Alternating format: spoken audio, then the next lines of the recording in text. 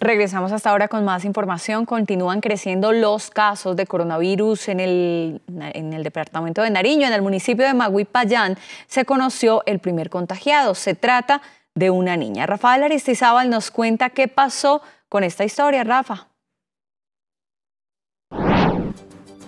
Joana y televidentes, buenas tardes. Y es de esos casos verdaderamente difíciles de reportar. Es una niña, o era una niña mejor de tres años, residente del municipio de Maguipayán, quien según el Ministerio de Salud no tenía ninguna enfermedad de base, pero ha muerto por coronavirus. Residente de Maguipayán, pero fue trasladada por complicaciones médicas a la ciudad de Pasto, en donde falleció. A continuación el informe. La alcaldía de Maguipayán en Nariño confirmó el primer caso de coronavirus en el municipio.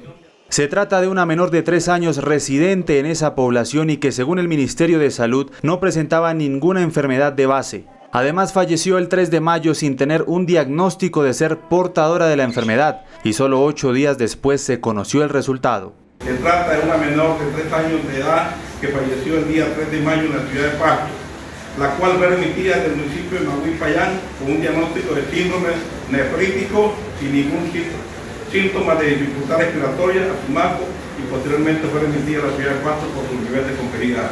Según la administración local, a partir de la revelación de los resultados en donde se establece que la muerte de la menor se produjo por el virus, comenzaron a adelantar el cerco epidemiológico ante el riesgo de que la niña hubiese contagiado a sus padres y otros parientes.